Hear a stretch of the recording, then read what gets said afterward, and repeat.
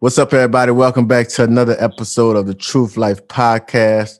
Today we got a special guest, my guy David Jackson. Um, David Jackson's a professional basketball player out here in France. Um, I met him a couple of years ago. You know, he's been solid, dominant since I met him. You know, he had a great keep career. And uh, I think he's a good guy that you guys can learn some things from. And I wanted to get him on the podcast, and he accepted it very thankful for you to be up on here, David. Uh, what's up with you, bro? T. Tyren Johnson, I appreciate you, man. I appreciate first, I appreciate you having me. All right, Mr. Make 'em Pay, you know, true, you know what I'm saying, Mr. Was that Mr. MVP? a few two years, you know, out here, you know, Mr. Lead Score out here, all this Come stuff, all these uh, accomplishments. I gotta, I gotta say, uh, all these accomplishments, man, and uh, yo, it's, it's, uh, I'm, I'm happy about our friendship and stuff like that, and uh, you know, we get on the court, we compete and stuff like that. You're my rival and everything on the court and stuff, but off the court, you know, it's nothing but love. I support you and the things you got going on. So uh, I appreciate you having. me. Oh, 100, man. So let's start. Let's start at the beginning, man. You are you from Memphis, Memphis, Tennessee, Memphis 10. When you were young, did you think you would be doing what you're doing today? Man, no, I'll be honest with you. No, I did not. I mean, So how was uh, it like I knew in I uh, love basketball from a young age. you know you love so I know what I'm saying. So how was it like during those young age? Were you just playing just to pass time or was it a passion of yours? How'd you get started with the game? Yeah, so I just started actually just playing playing ball, uh, playing 21 and stuff, pick up ball outside, things like that. And um, that's where I found my love uh, from the game. And I was I was growing, I was getting tall, you know. And uh, so they saw me, they called me, you know, slim, skinny, all these names I had kind of kind of growing up and stuff, you know, because I was tall, skinny kid. And uh, I just I just grew into the game. I mean, in my, you know, in Memphis, you had Penny Hardaway. That's from Memphis. So you hear some of the things he did. You hear some hometown legends, Snap Hunter.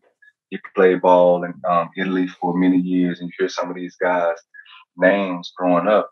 And then you watching you watching TV. You want to you see Kobe's and stuff like that, and so you know uh, the game of basketball just stuck with me. Uh, I was good at it, so it was it was my passion from uh, from the beginning. Plus, in my area, basketball keep you away from some of the bad things. You know, when you growing up in, in neighborhoods like probably where you from, I'm from, you know, you got gangs, you got drugs, you know, you got a lot of things, you know, cliques and stuff. You you got kids robbing people and doing things like that. So, you know, I knew and I felt like I didn't want to go that route. I saw a lot of my friends and stuff. It was people getting killed around me at 14, 15 years old and stuff, you know. I didn't want to go that route. So basketball went I went kind of heavy and strong into basketball. I got you. So, I mean, that's a that's kind of like most of our stories, man. It's it's crazy, you know. Some people just get to live and be a kid, but we gotta avoid so much. But no excuses. We here today, you know. so, uh, Yeah. what was the recruiting process like? Was you heavily recruited out of high school, or was it some last minute type situation? Um, I I had a well in high school. I had a pretty solid high school career for myself individually. I was on my high school team. We were losing a lot in high school. I never made it to state or anything like that. Probably made the city. I think uh, one time, one time maybe twice. Um, and I, I'm in a small high school in the hood. You know what I'm saying? It was really no no hoopers, no no name, big names coming out of my high school during that time. Um, you know, in my high school, you had you had uh, metal detectors and stuff. You had shootouts. You had uh, gang fights all all throughout the day. You had people getting arrested in school all the time. You know, it was just things like this happening. So it wasn't big on people coming there for basketball. So I just kind of, I, like I said, I stuck with basketball. You know, me and my guys that I came with kind of stuck with basketball, and um, I was able, thank God, I was able to be pretty good at it. Um, so probably my my I, what what blessed me also my high school coach now he's uh he's an assistant well he's a manager assistant with the University of Memphis right now his name is Rodney Hamilton just so happened my sophomore year he was he just finished just retired from playing ball in uh, China Japan and he retired he retired early he was 27 years old retired he had some knee problems point guard he came. He was my high school coach, and he was one guy that kind of opened my eyes and helped me a little bit, kind of motivated me. I didn't know how good I was. I'm sure he saw it, other people saw it, but I didn't know. So he woke me up a little bit. And I say my junior, senior year, I was putting up 21, 22 a game. My junior year, I was putting up 25. My senior year, um, I was playing AAU summer ball with some big names out of my out of my uh, city, like Sean Williams, um, that went to the University of Memphis, Andre Allen. Um, I played AAU ball, Corey Brewer, some guys. We won the AAU Nationals down in um, 17 and under 2003. We played against some of the best high school ball players. We won the AAU National Tournament. So playing some of those those summer balls that got me heavily recruited from Oklahoma, Colorado, um, Arkansas State, uh, Memphis. You know, Coach Cal and stuff. I was having I was, you know, going up there with them. They talking about going to prep school for me and stuff. I didn't want to go that route. Mm-hmm. Go to prep school, then I come back to Memphis. You know, I didn't want to go that route. And so the route that I chose, instead of going to a big school in a Big Twelve, I I wanted to put, I wanted to make an impact immediately. Not saying that I could have went to a I, I couldn't have went to a large school and did it, but I had just experienced playing summer ball with some of the good players around Memphis. And I was more, I was a shooting guard, but I was more the guy that's okay, y'all can do what y'all want to do. And finally, when y'all can't do nothing, I'm open for the three point shot. Mm-hmm. I was more like that with this AAU team. You know, it was, it was, I was playing with pros and stuff. So I say to myself, I don't want to go that route in college. right, so I went, I picked mid major. I went to, I went to the University of Western Illinois. I had a good experience there on my on my uh, trip there and stuff like that. Uh, so I ended up going mid major, uh, Western Illinois. Got you. And uh, West Illinois, did you start as a freshman? Started started as a freshman. Started all four years. Uh, I think uh, over four years, uh, my average is uh, 14, 13 and a half, 14 points over my four years. Started as a freshman every year. Um, I average over 10 points. So so what would you uh, say was your size going into your freshman year of college? What what what what was your size? Six four, 165 pounds. Soaking wet. Exactly. you see, so, one thing one thing that's common is every player was undersized. Well, most most players are undersized, and they they needed that one player. They needed that one mentor to fall in love with them to help them see who they are. And just like you had your coach, I had um, a guy, he was my baseball coach, but he was like a father figure too. Um, I went to college 66160 So, okay. you know, so it's like I hear, I get so many excuses Ooh, from yeah, guys yeah, about yeah. They're not big enough. I'm like, no, no, no, you don't understand. Most guys go to college 160, 170, and they put on pounds when they get to college. You know what I'm saying? So, it takes time sometimes. All right. So mm-hmm. you four years at Western mm-hmm. Western Illinois, and then you where was your first job as a pro? First job as a pro uh, in Montenegro. Uh. Montenegro team called Bijelo Polje. And uh, man, oh wow. I tell you, uh, I'm blessed, like, you know, wow. I think back to that, it was 13 years ago, bro, and uh, I wanted to quit that first year. But I got over there to Montenegro. I was ready to give up. I mean, uh, just being away from home. First, I was at home. I, I was away from home because I was in college. It wasn't so bad to be away, but being in another country, no one really speaks English.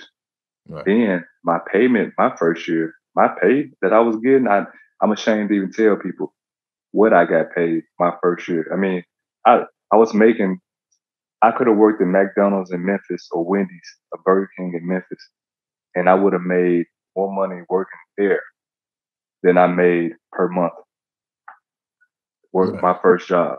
So that can I let that tells you how much I was making. Right. So um, I really went for, the love of the game. When I can say I love the game, I, I left my I left my son, left my family, and came to Montenegro for the love of the game, to try to spark my uh, pro career. Right. And that's what, thank God, that's what I was able to do. Uh, but it was it was definitely tough. Uh, and for a lot of people watching here, who who who um, who's watching your podcast, bro, and who who may uh who have dreams to play pro and they're doing great and they want to slack off. I would I would tell you guys stay hungry, stay on your job. In college, I was doing good in my books all my my year, my semester. I waited to the basketball season to finish of my senior year to start slacking off, and I messed around and I had I fell a class and I had to take summer classes. Um, I I'm senior, just graduated. Still, I got to go back and take a summer class. I was supposed to be in workouts. I was supposed to be talking. You talking about like NBA workouts, stuff like that. Work. I was supposed to be doing workouts, but I had to go back and I had to finish class. You know, and so I missed out on a lot of. I missed out. I wanted to get my degree. You know, that I promised my mom that that's what I'm going to do. Go to college, get my degree, and I had to make a choice. Either I'm going to go and try to do these workouts, which I probably could have did good. I may better to get paid, or I'm going to stay in my school in the summertime. I finished and I stayed. I made that choice. All the time, my agents stopped messing with me. I feel like people kind of gave up on me, you know. And mm. here go one one Montenegrin agent. He kept following me, kept telling me about this job, and from, I didn't want to go. Finally, it's like September. I'm like, okay, I'm going. I'm going to keep this basketball alive, you know. And I went. So Mm, that's that's crazy. See, I quit school. They gave me the opportunity when they told me about I had like 32 workouts. Yeah. I was like, look, finish this degree, or I was projected late first, early second. And I'm like, I'm out of here. Okay. yeah, you know yeah, yeah. So see that's if you projected like if I would have been projected like that, maybe I would have took it, but I wasn't. So I wasn't no you know, but it's interesting that people don't know that you got to make that decision. People don't know that, that that's a real life decision that you have to make whenever you're not a big time prospect. You know, and, yeah. and that gets yeah. that gets overlooked whenever you're speaking about playing professional, not in the NBA, because literally, my mom was yeah. a teacher. Um, I mean, I was big on books, but I I just knew this was my only shot because I was I only played one year of college. So I was like, all this momentum I got going on, I'm like, uh-uh, I ain't missing this. So I just quit. You know, but yeah, yeah. it's interesting. And another thing is, is that I'm trying to get make sure that I hope you guys paid attention. They said that he can he could have made more money at McDonald's because when I tell guys that your first job might have to be 20 grand, 15 grand, I know countless amount of players that went on to play EuroLeague they went on to play at Euro Cup, top European team that started off they started grand, you know started so off like that. Yeah, it's, it's looked down upon yeah. because guys want to yeah.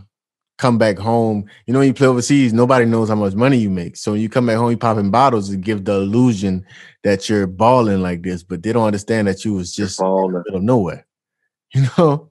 Yes, yes, yeah, and and I think in the states, you know, since we're American and we're more talking to people in the states, in, in the states, I think we have a we kind of like.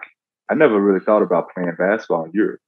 I never knew when it existed. I was in the states. I never thought about Europe. Like, so come on. So yeah. So I never thought it because playing basketball. If you're not in the NBA, in the states, if you're not in the NBA, but you're playing somewhere else, you're just not good. You're not. You're not all that. Right, right. You know what I'm saying? And so I think that that's another thing why people don't want to go over here also because also look at the people when they go to the league first second year. Most people they're millionaires already or they just about right? First year. So you got to come out here and make only 20 to 50 grand your first year. Something is not something not right. I can't do this. This is they messing me up. They messing me over. I'm not earning i'm not earning what i'm worth. You know what i'm saying? Right. and so i think some people can be like that so they turned off. But um, yeah, as we do know, because we, we experience it sometimes in Europe with a lot with some a lot of people. You got to kind of start, you know, start low and then you work your way up and stuff. And then when they see that you're a real pro, they start respecting you and stuff, you know. And I feel like that's how it was for me. And shit, man, we 13 years later now, and you know, you have pretty successful career and you know, you well respected everywhere, especially here in France. Uh what's Thank your tra- what's your training like? Like do you do weights? Do you uh, do a lot of uh, on court? Uh, what do you, how, how's your how's how, what's a weekly training schedule like for you today as a 13 year vet now? Man, uh, wow, good question. Um, I'm really trying to steal ooh, you stuff. So, so no, yeah, I'm trying to. It's all good because I'm gonna ask you the same thing. Uh, so uh, that's a good question. Um, well, with basketball, you know, we got these practices and stuff, and you know, in Europe, like I'm sure you probably told on a lot of your podcasts, in Europe, we practice. Teams really do practice. Practices you do more than you actually do in the game in practice, right? Mm-hmm. So, you know, in NBA, what they got so many games that their practices are more shoot around, you know. But here in Europe, we we have two, three games a week. When we finally have our practice, we're still gonna go five on five full court. So we're gonna play, pick up defense, all the stuff you're gonna do. And so um, with all those practices and stuff we having at home, I do nothing. I eat, I chill, I relax, I try to leave everything basketball. I try to leave that at home. I mean, at the gym. Everything that I need to do basketball, I really try to leave that at the gym. I mean, here at night, the only thing I do maybe maybe is stretch. I'm stretching. I'm rolling out before I go to sleep. After to take me a nice shower, after I do me some nice stretching and breathing, things like that. You know, I roll out or something like that. I try to rest when I'm here at home. But you talk about before practice, we got two two a day man, we got practice at 10 o'clock in the morning. Most day I'm showing up at like 9 15, 9 20. I got to get warmed up on the ground. I got to do my core. You know, I got to do little things like that for my back, core. You know, that's kind of the most important. I might go over there and start doing squats and stuff like that. Just little things to try to keep, get myself warmed up. And then I'm trying to shoot. I'm trying to do form shooting touches, layups, little things slow, kind of slowly though, not fast, not hard, but just get my touches and stuff. So those are some things I do before practice. After practice, I'm out of there. Stretching, I'm out.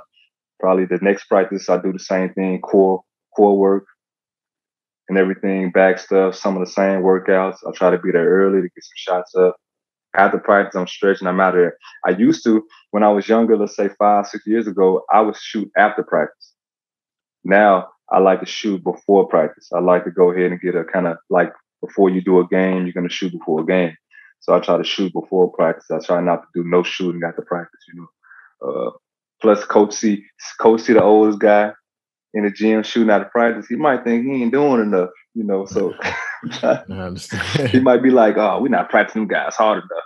We got this old, this old guy, this old ass guy out here. He's still shooting. Hmm, tomorrow we're gonna go three hours. You know?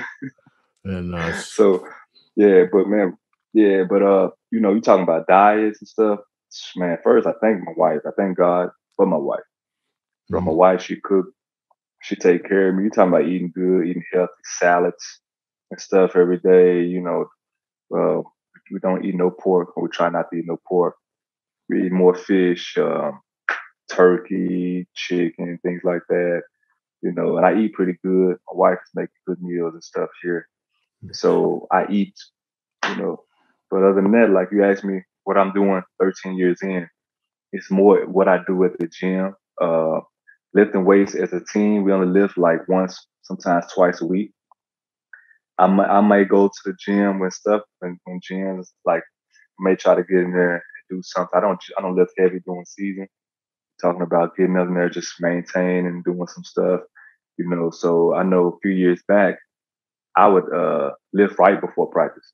I would, man, we got practice at three, so I'm gonna go do lift weights at 1:30, something like that, and do a little weights, and then go into my practice. Uh, four years when I was at Rouen, I used to do stuff like that, but now I'm not doing that anymore. Uh, but man, stretching, that's about it. I got you. I got you. So you say you don't what, eat. What do you do? Me? yeah, that's crazy. Man. man, I try to. I mean, I say it's a game week, right? In the summer, yeah, I, am pretty. Yeah. I'm pretty. In the summers, I'm pretty crazy. So I just go to like a, like a okay. game week during the season. Uh, okay. no, normally it's uh, I lift two two times a week. I would on the days I don't lift. If we play on a Saturday, I lift Tuesday and Thursday. Monday, okay. Wednesday, Friday, I'll do yoga, and Sunday I'll do yoga for recovery after the game.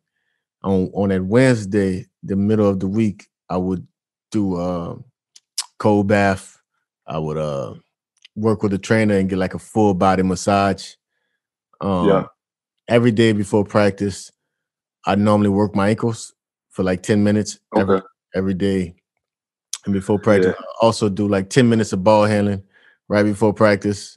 Just because practice start at 5:15, from 5 to 5:10, I do like 10 minutes of ball handling, and then I'll do some running and stuff right before we start. And I'm a big we have optional practices in the morning. Mm-hmm. So I go to most optional practices and I typically stay after practice. You know what I'm saying? Okay. So okay. basically, I, uh-huh. I make 1,500 shots a week. I make 1,500 shots a week. I try to make 250 a day. Yeah, I just try to make 250 a day. That's that's yeah. why you truth. That's why that's why it's been it's been paying. That's why it's been paying off for you too. Yeah. So I, I see the work, the ball handling for you. It, you talking about a power forward, four man is saying you're whatever. You're handling. You know you handle the ball like a guard. You probably could bring the ball down the court on a guard if you really wanted to. You know. Right. So I, so I can see that ball handling. You put in that work with the ball handling. Uh, you know, and it's funny, like you said, how you said that. It's it's pro players, and I try to talk to my son and stuff. Uh, like it's pro players, we know time. We we manage time great. Mm-hmm. You know what I'm saying? You know, 5, 10, 5, 5, 5, 10, I do this, da, da, da. You know, because time is just about everything. But if you're trying to get up and get a certain amount of shots in before your practice, you're trying to do this before your practice. Time is everything. I need to get massage before or after. You know that you got to show up at this time. You know, so it's, it's kind of you know it's funny hearing that from you. How you said for this many minutes I'm doing this and then this I stop. Yeah. You know, yeah, massages. I get a lot of massages too. Yeah. So uh, I try to get away right. from the massages. I, I, I do massage once a week, and I I mean my yoga's mm-hmm. pretty much take the place of that massage. You know what I'm saying? Because massages okay. for me it was like uh-huh. um I would get super sore from massages and I'll feel better two or three days later. But I just wanted that. Uh-huh. The the yoga was also a strengthening mechanism for my core too. So. I've, I've, been. I've been I've been toying back and forth with that, but yeah, man, it's been it's been working. You know what I'm saying? I, am I'm, I'm one of the players I got to see the ball go through the net. You know what I'm saying? So whenever I get hot, yeah. it's like, well. I've been here before. And most of my workouts, I, yeah. I don't shoot like I don't make ten in the in the spot. I try to make seven in a row, or I try to make ten in a row. I always try yes. to do things in a yes. row. Yes. And if it, that's too easy, then I'll go like all net or something like this, like five all net. Okay. Okay. So just okay. to get my uh, yeah, you grind, yeah, that's nice. Yeah, I'm I'm, I'm starting to tad bit a little back a little bit though because I've been you know the two practices practice kind of physical. I've been kind of overworking myself a little bit, I would say, but you know you, you put some pressure on yourself. You know what I'm saying? whenever you get older, well, whenever I get older, it's like now I have to reprove myself to myself. you know what I'm saying?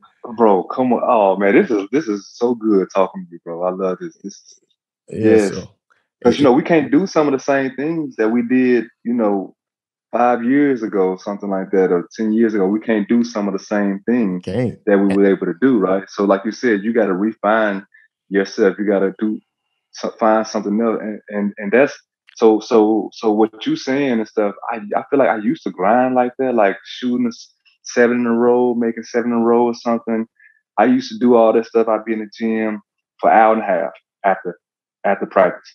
You know what I'm saying? Shoot, try to, you know, but when these legs start, yeah. start yeah, hurt. I usually do it in the yeah. morning when we don't have that when we when we have that light practice in the morning. That's when I usually get it in. In the evening, I always finish with like something a little more intense, but it's only like five ten minutes. You know what I'm saying? Okay. Just to get through.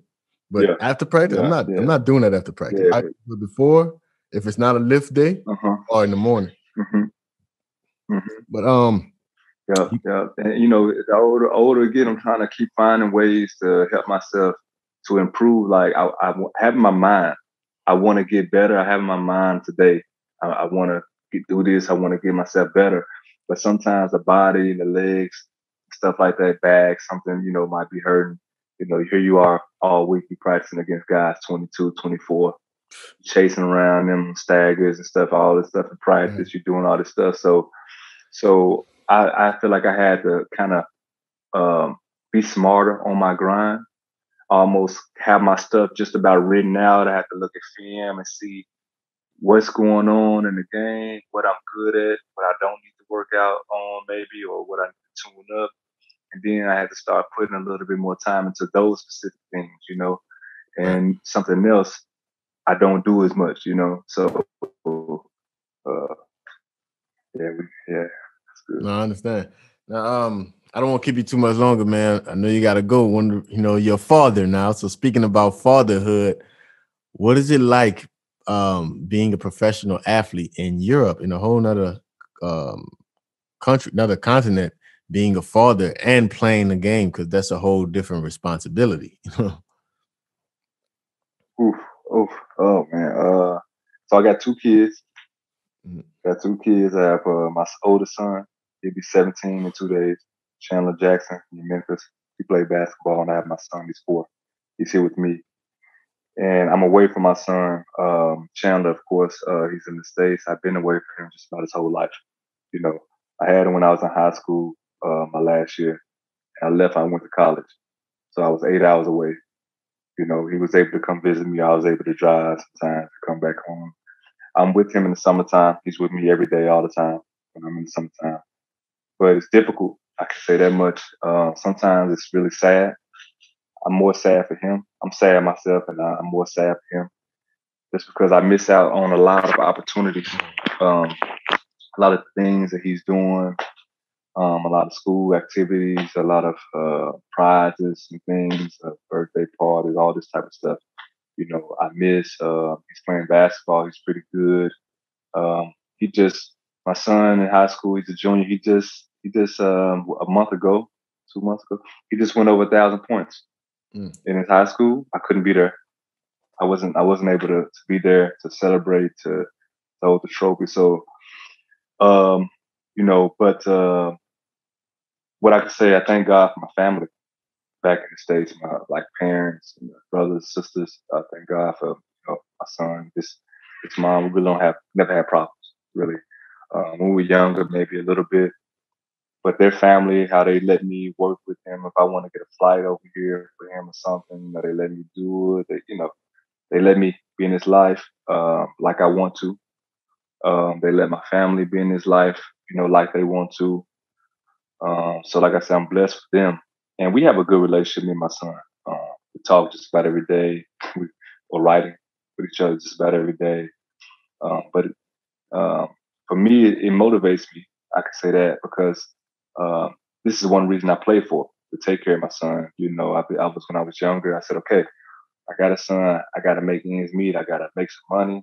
Basketball is what I'm good at. I'm here in Europe. Let me try to do good. Let me try to make the money that I can, save, you know, so I can pay bills and do things. So I've been able to put him in a private school and pay for that and do things like that. So uh, uh, we blessed, but I'm, I'm over here playing because of my oldest son and he's playing basketball.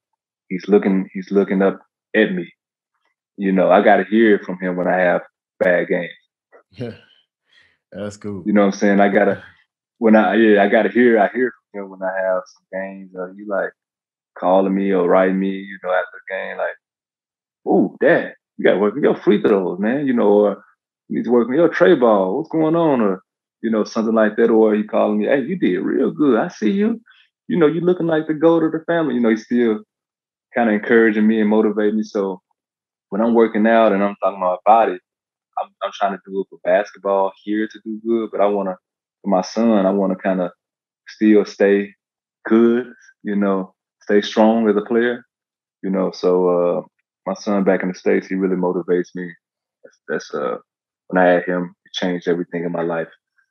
And, having my son here with me, my, my youngest son, it's um it's different. Like I used to have practices, bro, and I would be able to come home and lay down, rest, oh, no nap something, time. take it, do nothing. No, not no nap time.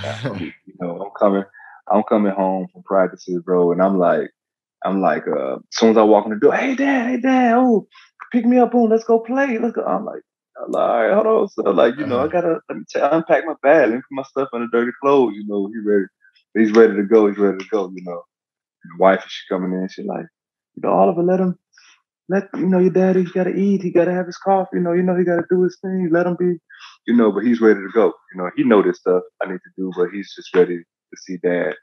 Um, I remember a few years back, like we lost. Like I remember just my. He's four now. He's bigger, but I remember when he was just barely walking.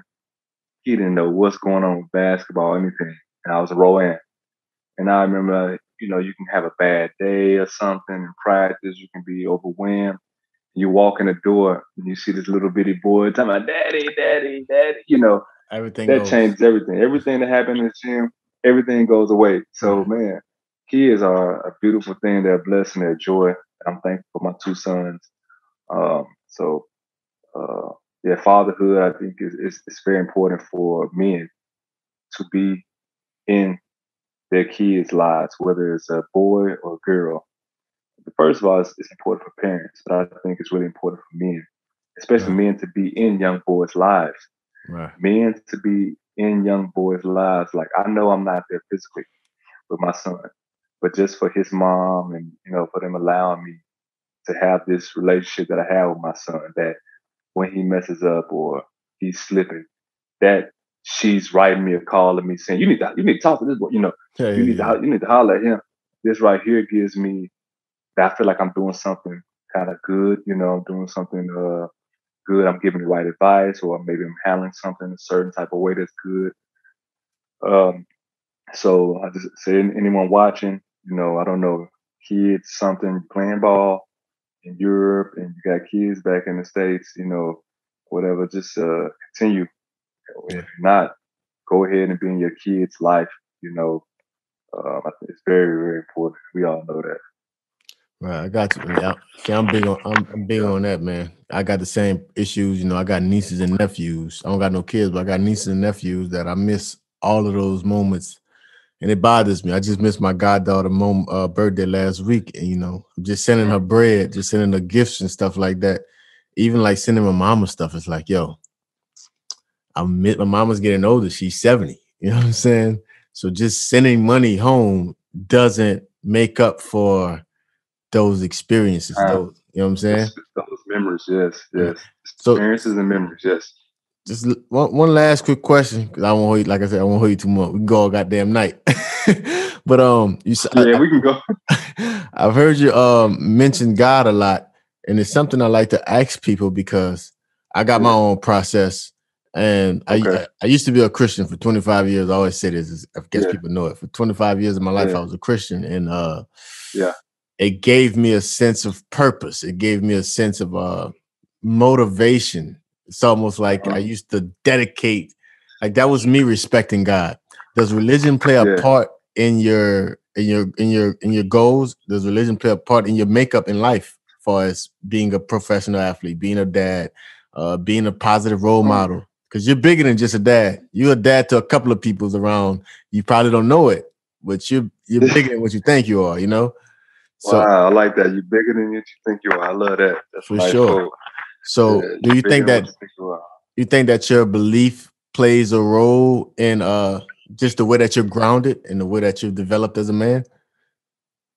Uh, man, great question. Wow, nice question, bro. Uh, to think of it, um, think I think so. Um, of course, of course, you know, just because saying I'm a Christian doesn't mean I'm better than somebody else. Doesn't mean that I'm perfect. Doesn't mean I won't make mistakes or anything. You know that. But also, just uh, being a Christian, um, I think that's that's my identity. You know, and uh, and I always pray these prayers like uh, before games that uh, I want to be Christ-like, things like that. Like I know where I'm from. I know where I can take it with people. I know how I can be, how I can get. I know that back in the day, I would fight over basketball. you know, I know that in practices or something, I feel like if someone would listen, I'd be ready to go to somebody's face or something. But just being a Christian and representing that and the prayers that I pray to help me to represent Christ and to be Christ-like, that can kind of slow me down in games when I want to curse somebody out, I want to rip somebody apart. I want to go at the referees, which I kind of still do sometimes, you know. But I have to represent, you know, I'm not only doing it for myself. I'm, I'm trying to represent Christ and, and live godly. So sometimes with basketball, it does help me to kind of stay grounded, to remember who I am, and also also with that saying, to remember who I am. I mean, you know, being a Christian, talking about faith and belief, and to to to have courage um, to be strong, to have courage, to have faith, to have belief, stuff to believe in yourself, to to encourage yourself, to encourage others. for me, this is all also what I take uh, from trying to, to, to represent Christ and stuff like that. And um, like I have no reason to be scared on the court. I have no reason to be shaky on the court or anything when I know that God is on my side. You know what I'm saying? So that's I try to also. It's gonna that's gonna be a clip. Huh? That's gonna be a clip. That's gonna be a highlight clip. oh, okay, there it is. So I just I just kind of feel yeah I just kind of feel that's that's how I am. So I, I do feel like having God in my life for basketball, it also helps me. You know, a lot of people, a lot of young kids, uh, since I've been playing here in France, I say young kids because we have what young kids on our teams, 19, 18. And I get questions from some of these young kids ask me, Hey, what do you do mentally? It was like, man, that game, you weren't making no shots all game. And then how did you take the shot to win the game? How did you and and I'm what they asked me, what how do I stay mentally strong? How do I stay like this? How do I and I say, you know, look, you put in the time. I know one thing, I got God on my side. Then I know I put in the time and the work. I know because I put in my time, my work in the game, and that it gotta eventually show off. Right. And so if you don't show up today in practice or it don't show up today's game, it's coming. It's gonna show out next game. Right? It's gonna it's coming. It's coming. So you know, um, so I always try to tell young guys mentally, you have no because you prepared, because you did everything that you knew you were supposed to do leading to this week. You put in time, effort, and you got God on your side. You can't lose. You know what I'm saying? You can't fail if you if you're courageous. If you have no fear. See, with me, I feel like with God on my side, I have no fear. I have no doubt. I have no negative. I have no negative. Even though people get mad in games and stuff, and being being upset and panicking. I feel like I feel like panicking and stuff. Everybody's coming to the oh man, what's going on?